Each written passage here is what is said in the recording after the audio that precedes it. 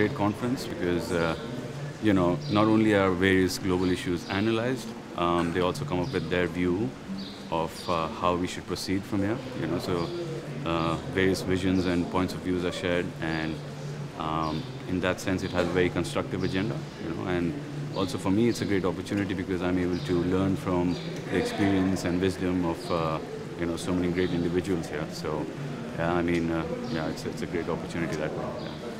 Yeah, so it's a long story, but I got connected with the conference because of uh, you know what I had studied. I studied international relations at Johns Hopkins University, which is an American university, and uh, yeah, through connections, you know, um, I was approached, and there was the screening process, and uh, for my film series, you know, it's a great place to be because uh, I, I, gathered some material uh, here as well, and uh, yeah, the series in, is in post production, so I'm working on it, and then the next project is going to be writing a book, also on global politics.